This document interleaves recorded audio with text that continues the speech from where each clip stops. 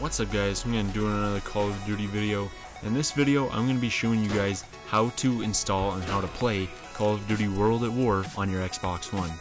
So there's two ways of doing this, and this depends on whether you have purchased the game digitally or physically, so if you have a disc, or if you've just bought it through the Xbox Live Marketplace. So if you have a disc, you'll just need to insert that into your Xbox One console, and you should get a little prompt that says that you need to update this game for your Xbox One, that it should take up about 7 gigabytes of space.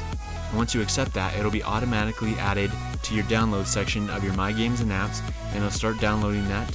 And once it gets done downloading, you can play the game, but, so if you have any of the DLC for the game, all you have to do is press start on the game, go down to manage game, and then you'll just need to go over to the ready to install section and install any of the DLC that you have purchased for the game and it'll be all there waiting for you.